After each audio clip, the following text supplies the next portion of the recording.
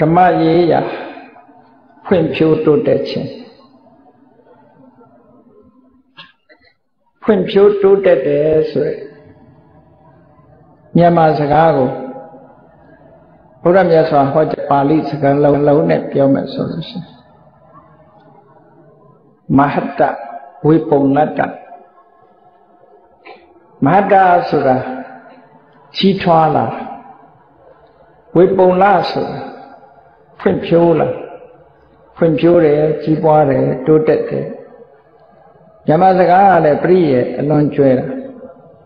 အဲဒါကြောင့်ဖွင့်ဖြိုးလာတိုးတက်လာတယ်ကြီးပွားလာတယ်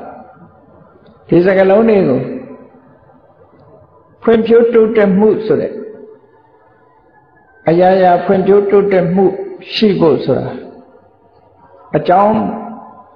ကင်းပြီးတော့ဖြစ်နိုင်တဲ့အရာမျိုးမဟုတ်ဘူး လောကရေးရဖွံ့ဖြိုးတိုးတက်မှုဆိုတာလည်းအကြောင်းရှိတာဓမ္မရေးရဖွံ့ဖြိုးတိုးတက်မှုဆိုတာလည်းအကြောင်းရှိတာအဲ့ဒီအကြောင်းတွေကိုသိပြီးတော့ထိုအကြောင်းတွေကိုမိမိတဏ္ဍာမှာဖြစ်ပွားအောင်ဆောင်ရွက်ခြင်းဖြင့်ဖွံ့ဖြိုးတိုးတက်မှုဆိုတာရနိုင်တယ်ဖွံ့ဖြိုးတိုးတက်မှုဆိုတာအမျိုးမျိုးရှိတယ်လူတိုင်းလူတိုင်းဟာဖွံ့ဖြိုးတိုးတက်မှုကိုလိုလားကြတာရှိတယ်အကု ခြုံငုံသုံးသပ်ကြည့်မယ်ဆိုလို့ရှိရင်လောကမှာရှိတဲ့လူသားတွေဟာလူတိုင်းလူတိုင်းစီးပွားရေးဖွံ့ဖြိုးတိုးတက်ခြင်းရတယ်ပညာရေးဖွံ့ဖြိုးတိုးတက်ခြင်းရတယ်စီးပွားရေးဘက်ကလည်းဖွံ့ဖြိုးတိုးတက်ဖို့ကြိုးစားကြပညာရေးဘက်ကလည်းဖွံ့ဖြိုးတိုးတက်ဖို့ကြိုးစားကြဒီနှစ်ခုကတော့အရေးပါဆုံးလို့ပြောတခြားလိုအပ်ချက်တွေကဘာတွေတုံးလို့ဆိုလို့ရှိရင် ကိုချင်းတရားဖွံ့ဖြိုးတိုးတက်မှုကိုချင်းတရားဖွံ့ဖြိုးတိုးတက်မှုဆိုတာလေကြိုးစားအထောက်ကြအဲ့လိုကြိုးစားအထောက်မှုမရှိဘဲနဲ့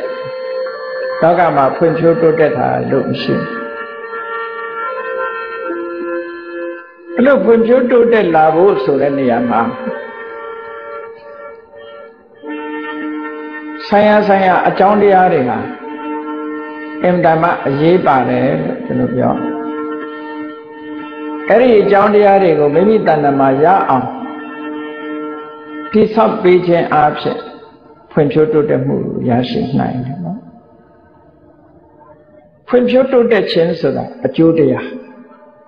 ထိုအကျိုးတရားရဖို့အတွက်ဟိတလို့ဆိုတဲ့အခြေအနေကောင်းတွေအကြောင်းတရားတွေကိုယ်တဏ္ဍမှာဖြစ်အောင်လုပ်အောင် နိုင်ငံနဲ့ချီပြီးတော့ဖွံ့ဖြိုးတိုးတက်ခြင်းနဲ့ဆိုလို့ရှိရင်လေဖွံ့ဖြိုးတိုးတက်စေနိုင်တဲ့လိုအပ်ချက်တွေဒါတွေကလောက်ကြစီးပွားရေးဖွံ့ဖြိုးတိုးတက်ခြင်းနဲ့ပညာရေးဖွံ့ဖြိုးတိုးတက်ခြင်းနဲ့ဘယ်ဖွံ့ဖြိုးမှုမျိုးပဲဖြစ်ဖြစ်ကဘာမှာအာယုံစိုက်ပြီးတော့လုပ်နေကြတဲ့ဖွံ့ဖြိုးတိုးတက်မှု လောကရေးရာဖွံ့ဖြိုးတိုးတက်မှုအားလုံးဟာလည်းဆိုင်ရာဆိုင်ရာမှန်ကန်တဲ့ဆုံးဖြတ်ချက်နဲ့မှန်ကန်တဲ့လမ်းကြောင်းပေါ်ရှောက်မှသာဖွံ့ဖြိုးတိုးတက်နိုင်အနုဝဆိုလို့ရှိရင်ဖွံ့ဖြိုးတိုးတက်မှုမရှိဘူးမရှိနိုင်ဘူးတူးစီတူးစီလူတိုင်းလူတိုင်းမှာလည်းပဲဖွံ့ဖြိုးတိုးတက်ရေးဆိုအကြောင်းတရားတွေရှိနေအားကြီးပဲကောမိမိကိုယ်တိုင်ဖွံ့ဖြိုးတိုးတက်ဖို့ကိုယ်တိုင်လုပ်ကြရ လူတူတယောက်စီဆိုလို့ရှိရင်အကျင့်စာရိတ္တဖွံ့ဖြိုးတိုးတက်ဖို့စီးပွားဥစ္စာဖွံ့ဖြိုးတိုးတက်ဖို့ပညာရေးဖွံ့ဖြိုးတိုးတက်ဖို့ဘောဓုတဖွံ့ဖြိုးတိုးတက်ဖို့ကိုချင်းသီလဖွံ့ဖြိုးတိုးတက်ဖို့ဆိုတာဒါတွေဟာအကြောင်းနဲ့ကင်းပြီးတော့ဘယ်ရာမှဖြစ်ပြီးတော့မလာဘူးတဲ့ဒါကြောင့်မို့လို့ ဆိုင်ရာဆိုင်ရာအကြောင်းတရားတွေဟာဘာတွေလဲလို့သိဖို့လိုအပ်တယ်မြတ်စွာဘုရားကအကြောင်းကိုဟောတာအကျိုးတရားတစ်ခုကိုလိုချင်အကြောင်းတရားအထုတ်ဖို့ဆိုတာအမှန်တမ်းအရေးကြီးတဲ့အချက်တယ်ဒီအကျိုးရခြင်းဒါလို့ဆိုတာအဲ့တော့အကျိုးတရားကိုသာရခြင်းနေလို့မဖြစ်ဘူးအကြောင်းတရားတွေကိုသိဖို့အထောက်အောင်ဒါကြောင့်မို့မြတ်စွာဘုရားသုံးတဲ့စကားလုံးလေးရှိဟိတ ဒုက္ခဟိတဆိုတာအကျိုးတရားတွေကိုဖြစ်ပေါ်စေနိုင်တဲ့အခြေအနေခေါင်းကိုဟိတလို့ခေါ်တယ်မြန်မာလိုပြန်တဲ့အခါကျတော့အကျိုးစီးပွားတဲ့အကျိုးစီးပွားဆိုတာအကျိုးတရားတွေကိုဖြစ်ပွားစေတာအဲ့တော့အကျိုးတရားတွေရဲ့အစီအပွားဆိုတာအကျိုးတရားတွေရဲ့အကြောင်းတရားလို့ဒီလိုဆိုလို့ရတယ်အခြေအနေခေါင်းနေဒီလိုပြောတာအခြေအနေကောင်းနေဆိုတာဖန်တီးပေးမှ အခြေအနေကောင်းမှဘယ်ကိစ္စမဆိုလုပ်လို့ရအခြေအနေမပေးဘူးအခြေအနေမကောင်းဘူးဆိုရင်ဘာလုပ်လို့အောင်မြင်ကြီးပွားနိုင်တာမှမဟုတ်ပဲဆိုပါစို့စိုက်ပျိုးရေးလုပ်ချင်တယ်ဆိုရင်မြေကောင်းရှိဖို့လိုတယ်ရေကောင်းရှိဖို့လိုရေမြေနောက်တစ်ခုကယာတိဥဒုရေမြေအခြေအနေကောင်းရှိတဲ့အပြင်ယာတိဥဒုဟောနောက်တစ်ခါ စိုက်ပျိုးရေးနီးပညာဒါအခြေအနေကောင်းတစ်ခုပဲရေကောင်းရုံနဲ့မရဘူးရေကောင်းရုံနဲ့မရဘူးယာတိဥဒုကောင်းရုံနဲ့လည်းမရဘူးနီးပညာလိုအပ်သေးတယ်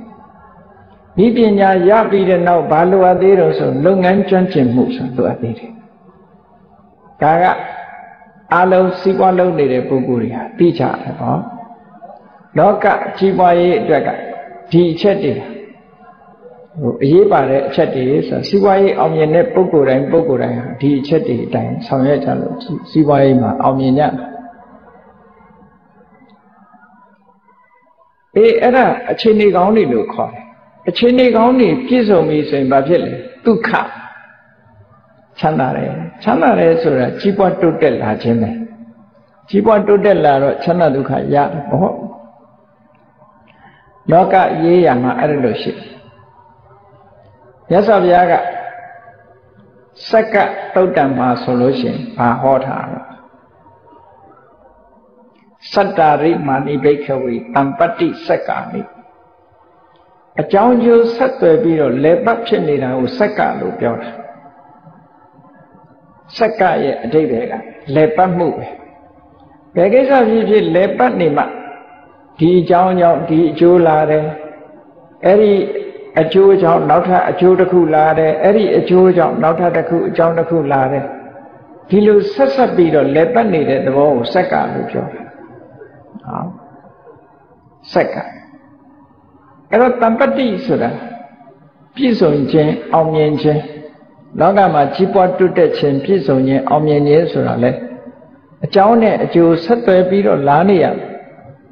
အဲ့ဒီဆက်သွယ်မှုတွေကိုဟောကြားပြသထားတာ ဒါမို့မြတ်စွာဘုရားကတမ္ပတိ14မျိုးလူသားတွေရဲ့တဏ္ဍာမှာဖြစ်ပေါ်နေပြီဆိုလို့ရှိရင်မကြခင်အတွင်းမှာစီးပွားဥစ္စာကြီးပွားတိုးတက်လာနိုင်တယ်ဖွံ့ဖြိုးလာနိုင်တယ်လို့ဒီလိုဟောတာတော့အလုံးသိတဲ့အတိုင်းတပတ္တိ14မျိုးဆိုတာဘာလို့ဆိုနံပါတ်1ကပฏิရူပဒေတာဝါဒပฏิရူပဒေတာဆိုတာ ကိုယ့်ကိုရွေးချယ်နိုင်ရမယ်နေရာမျိုးဖြစ်တယ်ဆိုပါစို့စိုက်ပျိုးရေးလုပ်ချင်တယ်စိုက်ပျိုးရေးလုပ်ချင်တယ်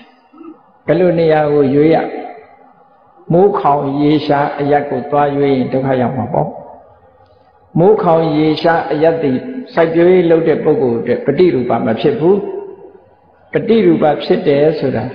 မြေကောင်းရေကောင်းရှိပြီးတော့ရာသီဥတုကောင်းတဲ့အရက်ဟာစိုက်ပျိုးရေးလုပ်လို့ကောင်းတဲ့အရက်ပဲအဲ့ဒါကိုပြောတာပฏิရူပဆိုတာကျမ်းမာရေးလိုချင်တယ်ဆိုရင်ဆရာကောင်းတမကောင်းဆေးရုံကောင်းကောင်းရှိတဲ့နေရာမျိုးမှာနေရမယ်။ကျမရေးအတွက်လမ်းညွှန်နိုင်တယ်သို့မဟုတ်ဇာတိဥရုကောင်းတယ်ဇာတိဥရုကောင်းတဲ့နေရာမျိုးမှာနေရမယ်။ဆိုပါစို့ ပူတဲ့ဇာတိဥရုနဲ့ကိုယ်ကမတည့်ဘူးဆိုအေးတဲ့ဇာတိဥရုမှာနေရမယ်။ဒါပြောတာပฏิရူပဆိုတာတခုတည်းကိုသတ်မှတ်လို့မရဘူး။အေးကိုကပွင့်လဲတဲ့ຢာတိဥရုနဲ့မှတဲ့တယ်စိုးထိုင်းပြီးတော့အမြဲတမ်းစွတ်စွတ်ထိုင်းတိုင်းတဲ့နေရာမျိုးဆိုရင်ကိုယ်နဲ့မတဲ့ဘူးဆိုလို့ချင်းအေး6တွေ့ပြီးတော့ tropical light tropical zone ဆိုတာမျိုးလို့ပူပြင်း6တွေ့တဲ့နေရာမျိုးသွားနေရ စကိုင်းတောင်ရိုးကရွှေဟင်းသာဆရာတော်ဘုရားကြီးအောက်မြန်မာနိုင်ငံသားပဲဟိုးငတိုင်းကြောင်းရဲ့အနောက်ဘက်ကလေးမျက်နှာမှာခွာတော်မူမြန်မာပြည်အောက်ပိုင်းဆိုတာအလုံးသိတဲ့အတိုင်းမိုးရသည်ဆိုရင်မိုးကောင်းတယ်လေမြဲတမ်းဆွတ်ဆိုတယ်ဆွတ်ဆိုတယ်တရားဝရီတိုင်းဆိုတာလည်းပဲ မဲကနေဆိုမိုးရွာပြီးတော့အမြဲတမ်းဆွတ်ဆိုနေတဲ့နေရာချောင်းနေမြောင်းနေနဲ့ဒီလိုရှိတယ်အဲသူကဒီရာသီဥတုအောက်ပိုင်းဒေသမှာသူငယ်စဉ်ကကြီးလာပေမဲ့လို့ရဟန်းငယ်ဘဝရောက်တဲ့အခါမှာဒီအောက်ပြေဌာနမှာသူ့အတွက်ကျမ်းမာရေးဖို့ပြိတူကမဖြစ်ဘူးခဏခဏနေမကောင်းတယ်ခဏခဏဖြားတယ်စိတ်ကုလို့လည်းမရ အဲ့တော့သူကသူပဋိတူပရွေးလိုက်တယ်ဘယ်ရွေးတော့စကိုင်းတောင်ရိုးသွားစကိုင်းတောင်ရိုးဆိုတာဆွတ်ဆိုတဲ့နေရာမဟုတ်ဘူးမိုးပါတယ်တောရိပ်တောင်ရိပ်လေးရှိတယ်အမြဲတမ်းချွေးလေးတဆူဆူနဲ့လမ်းလျှောက်ရတဲ့နေရာတွေကများတယ်တောင်တောင်တက်တောင်ဆင်းလေးတွေရှိတယ်အစားအစာကလည်းပဲစိတ်နဲ့အစားအစာသိမ့်မရှိဘူးဤတဲ့အစားအစာမရှိဘူး အညာရက်ဆိုတာအဲ့ဒီတော့ကပဲလို့နော်ဒါမျိုးဆော့ရွှေနာဆိုတော့ဘုရားကြီးကသူကအမိတ်ရှိဘူးတဲ့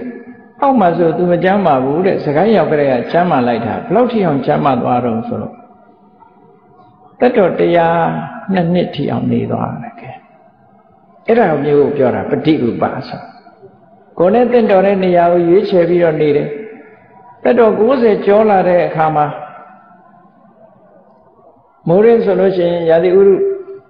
မိုးမများလွန်းတဲ့စကိုင်းမှာတရင်သုံးတယ်။နှွေးပူပြင်းလာတဲ့အခါပြင်ဥလွင်တက်ပြီးတော့တရင်သုံးတယ်။ဆောင်းရာသီရောက်တဲ့အခါအေးအေးငုံလာနေတယ်။ဒါပฏิရူပလို့ပြောတာ။ဒါကကျမ်းမာရေးအတွက်ပฏิရူပဖြစ်တယ်။ဒီလိုရွေးထားရမယ်လို့ပြောတာနော်။ပညာရေးအတွက်ပฏิရူပကျမ်းမာရေးအတွက်ပฏิရူပစီးပွားရေးအတွက်ပฏิရူပ စီးပွားရေးနဲ့ပတ်သက်လာလို့ပฏิရူပဘယ်လိုရွေးမလဲလို့ဆို။ဟောရောင်းဝယ်ဖောက်ကားအယောင်းဝယ်ထွန်းကားတဲ့နေရာမျိုးကိုယ်လုပ်ငန်းနဲ့အဆင်ပြေတဲ့နေရာမျိုးရွေးဒါတွေဟာအားလုံးအချိန်နေကောင်းတွေကိုဖန်တီးပေးတယ်လို့ခေါ်တယ်။အဲ့ဒီလိုပฏิရူပကိုရွေးချယ်နေတဲ့ပုဂ္ဂိုလ်မှဇမရေးလည်းဖွံ့ဖြိုးတိုးတက်မယ်စီးပွားရေးလည်းဖွံ့ဖြိုးတိုးတက်မယ် နော်သူ့နေရာနဲ့သူဖွံ့ဖြိုးတိုးတက်လာတယ်ဒါကိုမြတ်စွာဘုရားကဟောတာပဲတမ္ပတိဆက်ဆိုရယ်အေးပฏิရူပဒေသဝါဒအဲ့လိုနေရာမျိုးကိုရွေးထိုင်ပြီးတော့နေတဲ့အခါကိုကတရားဥတရားမြတ်ရခြင်းတယ်သာသနာထွန်းကားတဲ့နေရာကိုသိခြင်းနဲ့တရားဓမ္မကိုဟောပြောမဲ့ပုဂ္ဂိုလ်ရှိတဲ့နေရာမျိုး ဆိုပါစို့တရားဓမ္မနဲ့ပတ်သက်လို့ရှိရင်မမကန်ကန်လမ်းညွန်ပြတဲ့ပုဂ္ဂိုလ်မျိုးတွေရှိတဲ့နေရာမျိုးရွေးချယ်ပြီးတော့နေလိုက်မယ်ဆိုလို့ရှိရင်အဲ့ဒီလိုပုဂ္ဂိုလ်မျိုးတွေရွေးချယ်ပြီးနေလိုက်မယ်ဆိုရင်ကြီးပွားတိုးတက်လို့ဒါကြောင့်မို့အဲ့ဒါကိုတပ္ပုရိတုပသို့မဟုတ်တပ္ပုရိတာဝတ္တယသူတော်ကောင်းအမိရှိခြင်းလို့ခေါ်တယ် တင့်တော်တဲ့နေရာမှာနေလို့ရှိရင်ထိုတင့်တော်တဲ့နေရာမှာရှိတဲ့ပုဂ္ဂိုလ်တွေကိုလည်းစိတ်ကပ်ပြီးတာဖြစ်သွားတယ်။ကောင်းတယ်မှန်ကန်တဲ့ကိုယ်နဲ့တင့်တော်တဲ့နေရာနေတယ်။သူတော်ကောင်းကိုလည်းစိတ်ကပ်မိတယ်။ဘာလိုအပ်သေးတယ်လဲဆိုတရားတို့တရားမြတ်ရချင်း။ဒါစီကောဥစ္စာရှာတာလည်းဒီတိုင်းပါပဲ။ တရားတို့တရားမြတ်ရခြင်းဘာလို့တော့ဆိုအတ္တတမပဏိတိတယ်ကိုကိုကိုပြုပြင်မှုကိုစိတ်ဓာတ်ကိုကိုထိန်ချုပ်မှုကောင်းအောင်ပြင်မှုအမှန်တမ်းအရေးကြီးစီးပွားရှာလဲကိုစိတ်ကိုထိန်ရကိုချင်းတရားကောင်းအောင်ကြိုးစားစီးပွားဘလောက်တက်တက်ကိုချင်းတရားပြတ်သွားရင်စီးပွားပြတ်တာအဲကြောင့်မလို့အတ္တတမပဏိတိ ဆိုတဲ့ဆက်အရေးကြီးတယ်လက်ပတ်တယ်ဆိုလိုတာကလက်ပတ်ပုံကလေးကိုတတိထားလို့ရှင်တင့်တော်တဲ့နေရာအရက်ကိုနေသည့်အတွက်ကြောင့်တင့်တော်တဲ့ပုဂ္ဂိုလ်နဲ့တွေ့တယ်တစ်တော်တဲ့ပုဂ္ဂိုလ်နဲ့တွေ့သည့်အတွက်ကြောင့်စိတ်ထားတတ်တယ်ဟောဒီလိုဖြစ်လာဒါလည်းပတ်မှုလို့ခေါ်တယ်အဲ့ဒီထဲမှာအခြေခံကောင်းဖို့ကတော့ဘာလို့ဆိုပုပ္ပိသကတပုံညာတာ ရှိကကုသိုလ်ကောင်းမှုလုပ်ခဲ့တဲ့ပုဂ္ဂိုလ်ဖြစ်ဖို့လိုတယ်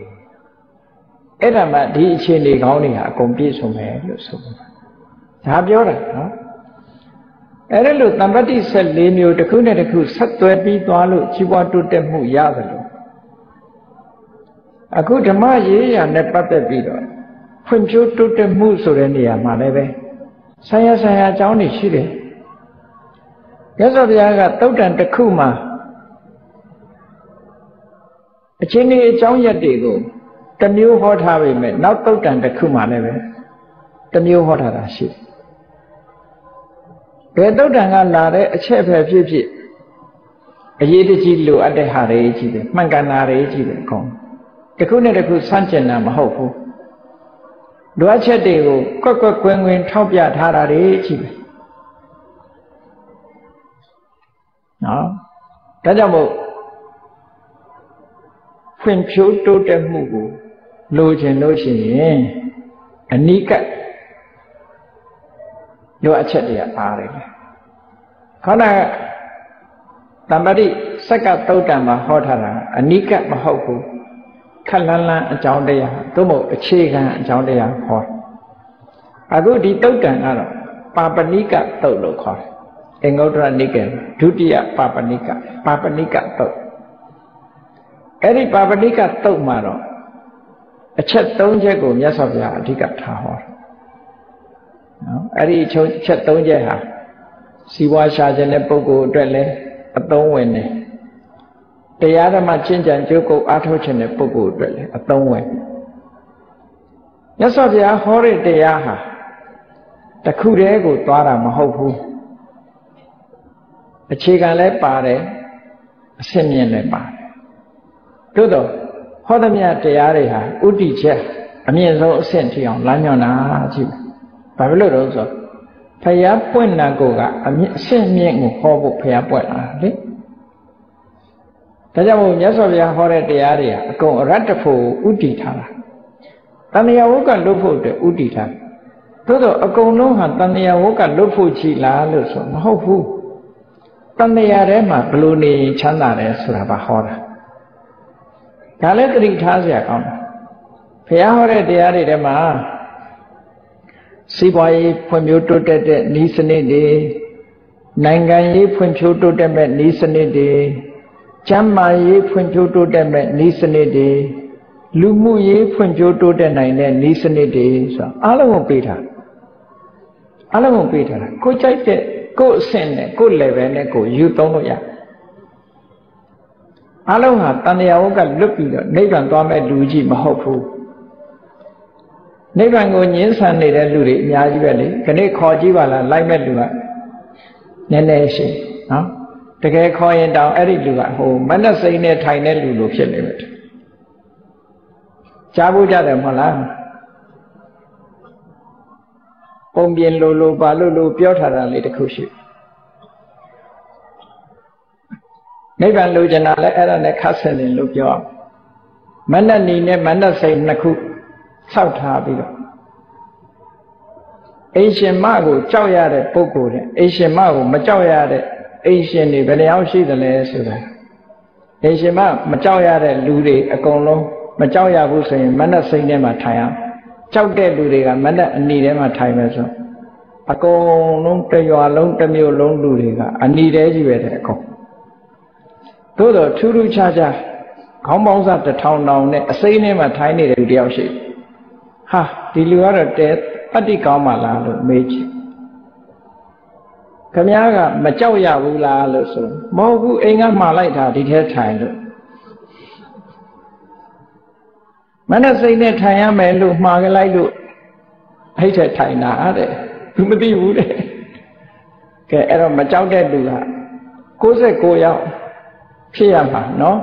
69ယောက်တော့မရှိတော့ဘူးအဲ့တူထက်ရခိုင်နှုံးပြည့်ဖြစ်သွားဒါကတော့ပုံပြင်ပြောတာနဲ့တူပါတယ်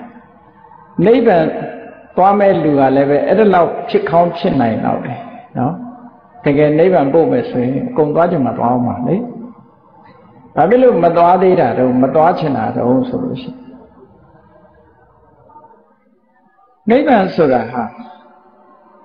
ဘဝတဏရှိနေတဲ့ပုဂ္ဂိုလ်ရဲ့စိတ်ကြိုက်မှဟောမှာမဟုတ်ဘူးလူတွေကနိဗ္ဗာန်ရောက်ချင်တယ်ရောက်ချင်တယ်ဆိုတာဘာလို့လဲနိဗ္ဗာန်ပရမန်ဒုက္ခနိဗ္ဗာန်ဆိုတာသိချမ်းသာတယ်မအိုရဘူးမနာရဘူးမသေးရဘူးလို့ဆိုတော့အဲမအိုခြင်းဘူးမနာခြင်းဘူးမသေးခြင်းဘူးဆိုတာနိဗ္ဗာန်ရောက်ရင်တော့ငါမအိုမနာမသေးအမြဲတမ်းလှလှပပလေးနေရမယ်လို့ထင်တာအဲ့ဒါကြောင့်တွားခြင်း အဲနိဗ္ဗာန်ဟာဘာမှမဖြစ်တော့ဘူးဆိုရင်ပုရုဇဉ်တွေကြောက်သွားအနတ္တလို့ဆိုလိုက်တာနဲ့လန့်ပြေးတာရှိတယ်နော်ခန္ဓာ၅ပါးနဲ့ငါဆိုတာမရှိဘူးဆိုတာနဲ့တင်လန့်သွားတာရှိတယ်ရှင်းတော့ကရှင်းတော့ကဆိုတာဒီနိုင်ငံမှာမဟုတ်ဘူးတိရိလင်္ကာနိုင်ငံလောဟပတ္တာရပြတ်တတ်ရဟန်းတော်တစ်ပါးကအနတ္တအကြောင်းရှင်းပြ လောကငါဆိုတာမရှိဘူးငါဥစ္စာမရှိဘူးကမ္မထန်တရားတုံညသဘောတွေကိုရှင်းပြရှင်းပြတဲ့အခါကျတရားလာနာတဲ့တခါကြီးတယောက်တရားပွဲကနေထွက်ပြေးသွားတယ်အိမ်ပြန်ပြေးပြီးတော့သူ့သားလေးကိုပွေပြီးတော့ငါတက်ကြပုဒ္ဒယဟန်တော်တွေရဲ့တရားသွားနာတာကံကောင်းလို့ကံကောင်းလို့မင်းနဲ့ပြန်တွေ့ရကံကောင်းလို့မင်းနဲ့ပြန်တွေ့ရ သူပြောတာဘာမှမရှိဘူးကိုပိုင်တာဘာမှမရှိဘူးဆိုတော့ငါသားလေးတော့ရှိပါသေးရဲ့ဆိုပြီးတော့လာပြီးပွေ့ဖိုက်ပြီးတော့နေတဲ့အဲ့ဒါကိုစာပေကျမ်းကမှာအတိတာယေတာတတိလို့သုံးတယ်တတတိအတိတာယေစာလူတွေဟာတဏှာနဲ့အမြင်နဲ့ကြည့်နေလို့ရှိရင်မကြောက်ရမယ့်နေရာကြောက်ကော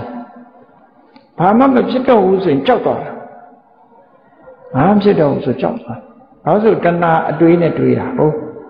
အဲ့မကြောက်ရမယ့်နေရာကြောက်တတ်ပြီတယ်ဝိပဿနာရှုတဲ့အခါမှာစကလုံးလေးတစ်လုံးရှိတယ်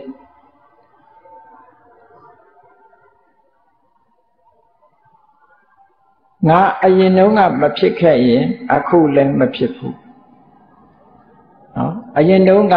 မဖြစ်ခဲ့ဘူးဆိုရင် အခုလည်းမဖြစ်ဘူးအခုမဖြစ်တော့ဘူးဆိုရင်လည်းနောင်လည်းဖြစ်မှာမဟုတ်ဘူးလို့ဆိုအဲ့ဒီစကလုံးလေးရှိတယ်အဲ့ဒီစကလုံးလေးကိုကြားပြီးတဲ့အခါမှာအတ္တဒိဋ္ဌိကိုမခွာနိုင်တဲ့ပုဂ္ဂိုလ်တွေကလတ်ထွက်သွားတယ်လတ်သွားငါမရှိဘူးဆိုတဲ့အတွေးတွေပေါ်လာတာနဲ့လတ်ထွက်သွား ဒါကြောင့်မလို့ဝိပဿနာချက်ချင်းချင်းနဲ့ဒါတတိထားတဲ့ချက်တစ်ခုပေါ့နာမေဘဝိတနာဟံဘဝိတနာမေဘဝိတတိနာမေဘဝိတနမေဘဝိတတိအရင်ကမဖြစ်ခဲ့ဘူးဆိုလို့ရှင်အခုမဖြစ်ဘူးအခုမဖြစ်ရင်လည်းနောင်ဖြစ်မှာမဟုတ်ဘူးဆိုတဲ့အတွေးအဲ့ဒါတာယုတ်ပါဠိတော်ထိုးထိုးနေရာလေးတွေမှာပါတယ်ပေါ့ တခါတခါဝိပဿနာအနေနဲ့ပါတယ်တခါတခါအတွေးမှားတယ်ဆိုတဲ့နေရာမှာပါပေါ့အေးကောင်းပြီအဲ့ဒီမှာဒီနိဗ္ဗာန်ချမ်းသာဆိုတာနဲ့ပတ်သက်လာဓမ္မရေးရနဲ့ပတ်သက်တာကြီးပွားတိုးတက်မှုဖွံ့ဖြိုးတိုးတက်မှုဘယ်ကိစ္စပဲဖြစ်ဖြစ်အကြောင်းမရှိဘဲနဲ့ဖွံ့ဖြိုးတိုးတက်မှုမရနိုင်ဘူးတဲ့ အဲ့ဒီဖွံ့ဖြိုးတိုးတက်မှုရဖို့အတွက်ဆိုင်ရာဆိုင်ရာအကြောင်းတွေစီးပွားအထောက်ရမယ်လို့ဒီတုတ်တန်ကလေးလို့ပြောတယ်။ကဲကောင်းပြီမြတ်စွာဘုရားကဒီဘဝကြီးပွားတိုးတက်ရေးလဲဟောတာပဲ။နောက်ဘဝကြီးပွားတိုးတက်ရေးလဲဟောတာပဲ။နောက်ဆုံးမှာဒီဘဝထိုဘဝတွေကိုမလိုချင်ဘူးတဏှာဝကလွတ်ချင်တယ်ဆိုတဲ့ပုဂ္ဂိုလ်တွေအတွက်ဟောတာ အဲ့တော့ဒီဘဝကြီးပွားတည်တဲ့ရေးကိုဥပမာအနေနဲ့ဟောထားတာရှိဒီတုတ်တန်လေးမှာဟောထားတာလေစီးပွားအရေးနဲ့ပတ်သက်ပြီးတော့မကြခင်ဖွံ့ဖြိုးတိုးတက်မဲ့အခြေအနေကောင်း၃ရပ်ကိုဒီတုတ်တန်မှာဟောပြတာစီးပွားရေးရာဖွံ့ဖြိုးတိုးတက်ဖို့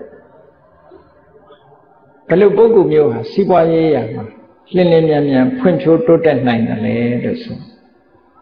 မြတ်စွာဘုရားဒီတုတ်တံမှာ၃မျိုးတည်းပေးထားတယ်နော်တခြားတုတ်တံတွေမှာတမ္ပရာ၄မျိုးဆိုဟောထားတာရှိသေးတယ်နော်ဘယ်ဟာပဲဟောဟောမြတ်စွာဘုရားဟောတာအကုန်လုံးအခြေခံအနေနဲ့လုံလောက်ထားကြည့်ပဲဒီတုတ်တံမှာလည်းမြတ်စွာဘုရားတရားဝါရီရဲ့အစ္ဆတရားကိုကြည့်ပြီးတော့လိုက်ဖက်အောင်ဟောတဲ့သဘော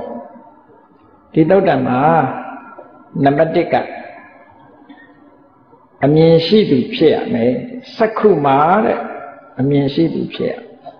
စီးပွားရေးနဲ့ပတ်သက်ပြီးတော့ကြီးပွားတိုးတက်ခြင်းအမြင်ရှိသူဖြစ်ရမယ်အဲ့တော့ဒီစကားလုံးလေးသုံးလိုက်တဲ့အခါပြန်ရှင်းတယ်အမြင်ရှိသူဆိုတာဘယ်လိုအမြင်ရှိရမလဲစီးပွားရေးအမြင်ရှိသူဖြစ်ရမယ်ဒီလိုဆိုလိုတာနော်စီးပွားရေးအမြင်ရှိသူ အယောင်းဝယ်လုပ်တဲ့လူဆိုလို့ရှိရင်အေးဒါလေးကအရင်ကဒီလောက်ကြတယ်ဒီလောက်ရောင်းလို့ရှိရင်အမြတ်ဒီလောက်ဖြစ်နိုင်တယ်ဆိုတဲ့အရင်နားလေဒါလောကမှာအောင်မြင်နေတဲ့ပုဂ္ဂိုလ်တွေဒီတိုင်းပဲလေအထယ်တွေချုပ်ရောင်းနော်ဒီဇိုင်းမျိုးမျိုးထုတ်ရောင်းစီးပွားရေးအောင်မြင်နေကြဘာလို့အောင်မြင်တာတုံးလို့မင်းအမြင်ရှိဒီခေတ်မှာဒီဒီဇိုင်းကလှတယ်ဒီ fashion က လူကြိုက်များတယ်ဆိုတော့ဒါအမြင်ပဲဟောနောက်တစ်ခုဒီခေတ်မှာဘယ်ပစ္စည်းကခေတ်စားနေတယ်ဘယ်ပစ္စည်းရောင်းမှဖြစ်လူတွေကဘာကြိုက်နေတယ်ဆိုလူကြိုက်ကိုလိုက်ပြီးတော့နှုတ်တာဒါလည်းစီးပွားရေးအမြင်လို့ခေါ်တာပဲငငယ်တုန်းကနားမလည်ဘူးရေးပြောထားတာပြည်တွင်းဖြစ်နိုင်ငံခြားအရက်ဆိုတာမျိုးနားမလည်ဘူး ဘယ်နဲ့ပြည်တွင်းဖြစ်ပြီးတော့ဘာဖြစ်လို့နိုင်ငံသားရဲ့ခေါ်ရတာတော့နော်အခုလည်းပဲကြော်ညာတစ်ခုတွေးလိုက်တယ်မြန်မာပြည်လုတ်ကိုရီးယားပါကေးတဲ့မြန်မာပြည်လုတ်တာတောင်မှပဲကိုရီးယားပါကေးဖြစ်ရမလားမြန်မာပါကေးရောမခေါ်နိုင်ဘူးလားဘာလို့လဲဆိုလူတွေကကိုရီးယားမှာခြိုက်တော့ကိုရီးယားပါကေးလို့ဒါလည်းအမြင်လို့ပဲပြောအောင်ပါပဲဗမာပြည်မှာထုတ်တဲ့ ဒီဖရဲသီးတို့ဗမာပြည်မှာထုတ်နေတဲ့သခွားသီးတို့တောင်မှထိုင်ဝမ်သခွားဆိုမှလူကလည်းဝယ်တာငယ်တော့မဟုတ်ပါဘူးတရဥမှာစိုက်နေတဲ့သခွားသီးတွေထိုင်ဝမ်သခွားဆိုရောင်းခရမ်းကျင်သီးဆိုလဲတခါတည်းကိုနော်ထိုင်ခရမ်းကျင်သီးတို့ထိုင်စီသီးတို့ဒီလိုမှရတာဖြစ်ဗမာပြည်စိုက်လဲအကုန်ထိုင်မယ် အဲ့တော့လိုက်ကြည့်လိုက်တဲ့အခါအစားအစာတွေလည်းလိုက်ကြည့်တယ်ဗမာတဲမရှိတော့ဟန်ကြတယ်ဗမာတွေကနိုင်ငံသားဖြစ်တည်ကြီးအကုန်စားနေကြနိုင်ငံသားဖြစ်တည်ကြီးပဲစားအဲ့ဒါပါလဲဆိုလူစိတ်ပဲနော်လူစိတ်ငငယ်တုန်းကစကိုင်းမြို့မှာဟိုကျွမ်းကျင်တဲ့သွားဆိုင်ဆရာတယောက်ရှိတယ်ရှိတော့ကတော့အခုခေတ်လိုဒီသွားဆရာဝန်တွေပါတွေမရှိဘူး တရုတ်တွေပဲလောက်တာများတယ်။သွားအတုကျွမ်းကျင်သူသွားဆိုင်ဆရာဆိုလို့ရှိရင်တရုတ်တွေကြီးပဲ။အဲ့ဒီမှာငငယ်တုန်းကတခါကြီးတယောက်နဲ့တွေ့ဘူးတယ်။စကိုင်းတောင်မှာဆရာတော်ကြီးတစ်ပါးကိုလာပြီးတော့သွားအတုတက်ပြီးတက်ပြီးရင်သူကပြောတယ်သူလှုပ်တဲ့အဲ့ဒီခေတ်ကရွှေသွားတွေပဲခေတ်စားတာကို တော့သူကလှုပ်တယ်ရွှေသွားရွှေသွားအတုလှုပ်ပြီးတော့ဒီစိုက်ပေးတယ်သူစီလာစိုက်တဲ့လူတွေကရွှေသွားကိုသူကမိတ်တင်ဘာမာပေါ့အဲ့တော့တော့ဘာမာပဲခေါ်တာဟုတ်မိတ်တင်ဘာမာလို့ဆိုရင်ကြိုက်ဘူးတဲ့ဗမာပြည်ချင်းဆိုကဲအဲ့ဒါလို့ဆိုရင်နောက်တစ်ခါကျတော့သူကဒီဇိုင်းပြောင်းလိုက်တယ်ဒီရွှေသွားသူလှုပ်တာပဲ မိတ်တင်အင်္ဂလန်ဆိုပြီးတော့ပြလိုက်တော့အဲ့ကျတော့မှဝယ်တဲ့နော်တူတူပဲသူလောက်တာပဲခုနကတော့ဟာလဲသူလောက်တာဘာမာတတအင်္ဂလန်တတမိတ်တင်အင်္ဂလန်ဆိုတဲ့အခါမှာဝယ်တော့တာမိတ်တင်ဘာမာဆိုတော့မကြိုက်ဘူးအဲ့တော့သူကိုယ်တိုင်ပြောတာငငယ်လေးကကြားဘူးနော်အဲ့ဘုန်းကြီးတို့ငယ်ငယ်တုန်းကဒီ ဂျပန်ပြစ်ဆိုရင်အမြဲတမ်းရှုတ်ချဗမာတွေကအင်္ဂလန်ဖြစ်တို့ဂျာမနီဖြစ်တို့မှသဘောကျအဲဒီတော့နော်မိတ်တင်အင်္ဂလန်မိတ်တင်ဂျာမနီအဲ့ဒါပဲသုံးတူတူပစ္စည်းတစ်ခုတွေးလို့ရှိရင်မင်းဟာကြီးကဂျပန်ပြည်ကြီးပါကွာဂျပန်ပြည်ကြီးပါနဲ့ဆိုရင်ရှုတ်ချအဲ့လိုတကယ်တွေးခဲ့တာအဲ့ဒါငယ်ငယ်တော့တကယ်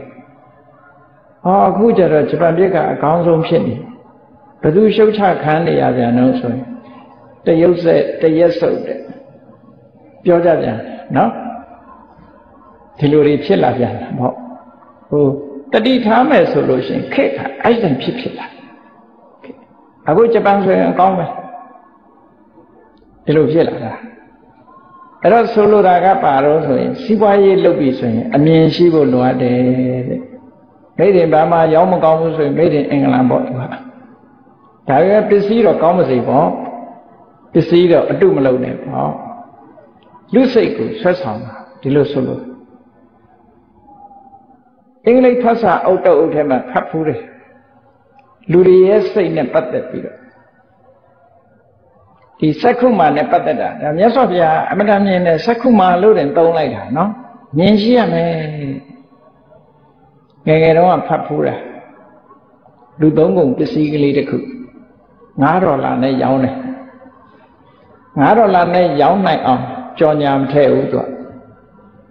ရိုးရိုးပါကင်ကိုရိုးရိုးလေးပဲလှုပ်ထားတယ်ဟောအထုပ်ကိုရိုးရိုးပဲထုတ်ထားရောင်းလို့မရဘူးတဲ့ဝယ်မဲ့လူသိမရှိဒါနဲ့ပစ္စည်းကတူတူပဲအဲ့ဒီပစ္စည်းကိုပဲလှလှလေးထုတ်ဈေးနှုန်းလဲတင်လိုက်တယ်10ဒေါ်လာရောင်းမလောက်ဘူးတဲ့ ပစ္စည်းကဒါပဲကြော်ညာတွေထည့်လိုက်တယ်ကြော်ညာထည့်တယ်နော်အထုပ်ပိုးလှလှပပလေးပြင်ဆင်ပြီးတော့ထုတ်တယ်ကြော်ညာတွေကားတွေထည့်လိုက်တယ်ကြော်ညာကကုံတာတွေထပ်ပိုးလိုက်တဲ့အခါကျတော့10ဒေါ်လာနဲ့ရောင်းတယ်ရောင်းမလောက်ဘူးတဲ့အဲ့ဒီကြဒါစီးပွားရေးသမားတွေတတိထားစရာလေးပေါ့နော်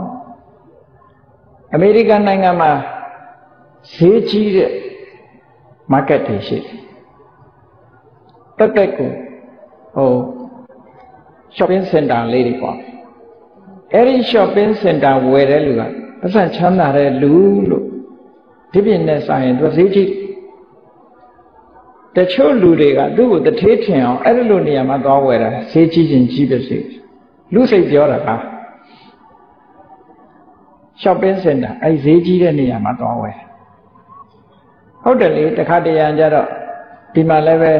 စူပါမားကတ်ကပန်းသီးနဲ့ဟိုလမ်းဘေးရောက်တဲ့ပန်းသီးရခါလေးကြတော့တိတ်မကွာဘူးဘောလှအောင်ထုတ်ထားတာရှိတယ်နော်သို့တော့အမဲစူပါမားကတ်ကတော့စီတီမတ်တို့ဘာတို့ပေါ့လေခုခေတ်ခေါ်တဲ့ပလာဇာတို့ဘာတို့အဲ့ဒီ shopping center တို့ကဝဲလာတဲ့ဟာမှ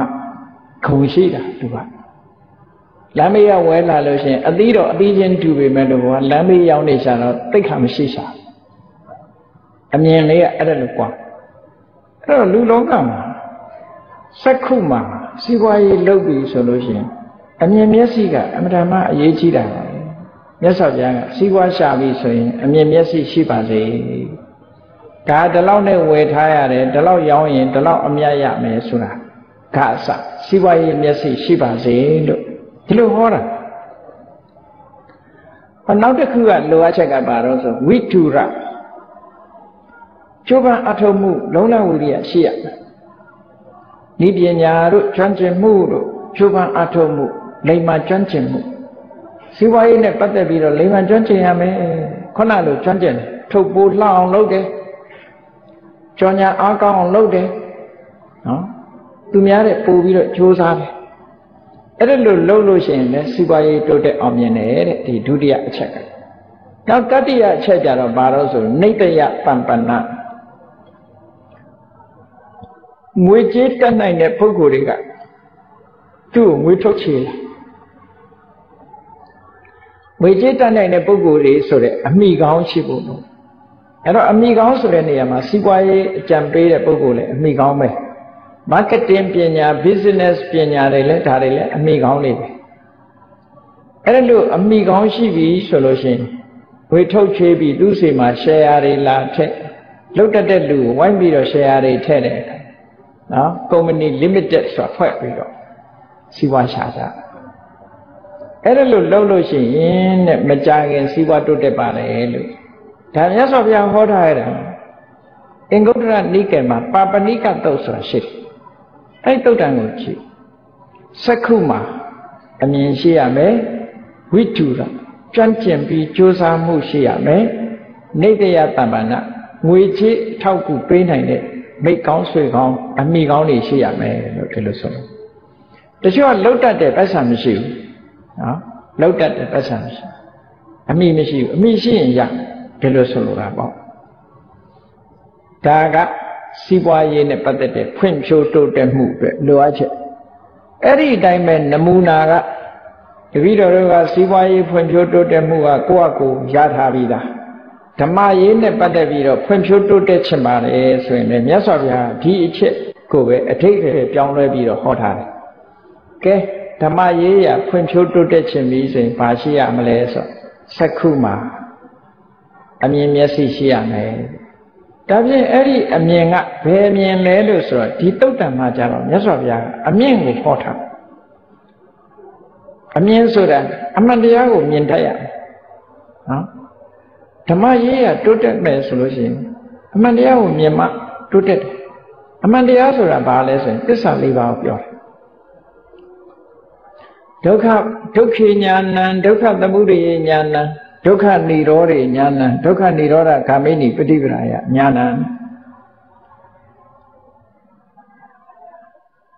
ခန္ဓာ၅ပါးလို့ဆိုတဲ့သင်္ခါရတရားတွေဒုက္ခသိတယ်အသိဉာဏ်မျိုး ဒုက္ခဆိုတာဒီတရားတွေဟာဒုက္ခဖြစ်တယ်ဒီတယ်မပို့ဘူး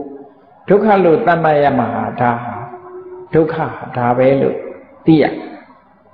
ဒုက္ခသမုဒယအဲ့ဒီဒုက္ခကိုထုတ်လုပ်နေတဲ့အကြောင်းတရားကဘာဆိုတာသိရဒုက္ခនិရောဓဒုက္ခတွေချုပ်ငိမ့်တာဘယ်မှာချုပ်ငိမ့်နေဆိုတာသိရအဲ့ဒီလိုချုပ်ငိမ့်ဖို့ချုပ်ငိမ့်ဖို့အတွက်နိလန်းကိုသိရဒုက္ခនិရောဓဂ ामि နိပฏิပဒါဒါကဓမ္မရေးရတိုးတက်မှုအတွက်ကြတော့ ဒီအမြင်ရှိရမယ်လို့ပြောတာဒါအမြင့်ဆုံးကိုမြတ်စွာဘုရားဟောတာအဲ့တော့ဒီအမြင်ရှိဖို့ဆိုတာကြည့်လေရှင်သာရိပုတ္တရာအလောင်းရှင်မမောကလအလောင်းဥပတိတ္တတို့ကောလိတတို့ပြပိုက်တယ်ပြပိုက်ဘာသာတဲ့ဝင်ရောက်ပြီးတော့ဓမ္မကိုရှာဖွေတဲ့အခါဒီအမြင်မရသည့်အတွက်ကြောင့်ဓမ္မရေးမှာမတိုးတက်လာရှင်အတ္တစီနဲ့တွေ့တဲ့အခါကျတော့ ဗုဒ္ဓဝါဒဘာလဲဖះဘာဟောလဲဆိုရှင်းတစီကရှင်းပြလိုက်တယ်ယေဓမဟိတုပ္ပဘောတေတံဟိတုံတတာကတော့အကြောင်းတရားအခြေခံပြီးတော့ဖြစ်တဲ့ဒုက္ခထိုဒုက္ခကိုဖြစ်စေတတ်တဲ့အကြောင်းတရားဒါကိုမြတ်စွာဘုရားဟောပါတယ်အဲ့ဒီဒုက္ခချုပ်ငြိမ်းတဲ့နေရာရဲ့ချုပ်ငြိမ်းခြင်းရဲ့အကြောင်းတရားကိုမြတ်စွာဘုရားဟောပါတယ်လို့ဒီအမှန်တရား၄ချက်ကိုရှင်းပြလိုက်တာနဲ့တပြိုင်နက်အမြင်မျက်စိရပါ မြင်မျက်စိရသွားသည့်အတွက်ကြောင့်ဓမ္မရေးဟာတိုးတက်သွားနောက်ဆုံးမှာဧကတာဝကဉာဏ်ရပြီးတော့ဖရာသာသနာမှာနံပါတ်1နဲ့နံပါတ်2တကယ်ထိတ်တန်းတပြည့်ကြီးတွေဖြစ်ရောက်သွားတာလေဒါကိုဆိုလိုတာစက္ခုမှမျက်စိနဲ့ဒါဓမ္မရေးရတိုးတက်မှုလို့ခေါ်တာပဲအဲ့တော့ဘုန်းကြီးတို့တွေလည်းဓမ္မရေးရတိုးတက်ခြင်းနဲ့ဆိုရင်သစ္စာလေးပါးဆိုတာကိုတုတ္တမယဉာဏ်နဲ့သိအောင်လုပ်ဖို့လိုတယ်ပထမ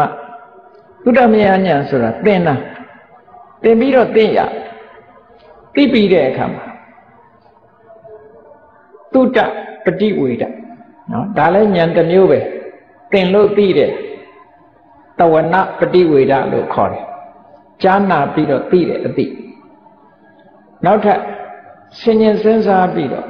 အသိဉာဏ်တွေတမာရီတရားတွေတိုးတက်အောင်လုပ်ပညာတရားတွေတိုးတက်အောင်လုပ်ပြီးတော့ ထိုးတွင်သိတဲ့အသိကြတော့ဘာဝနာပฏิဝေဒခေါ်တယ်အဲ့ဒီဘာဝနာပฏิဝေဒဖြစ်အောင်လုပ်ရမယ်အဲ့ဒါဆို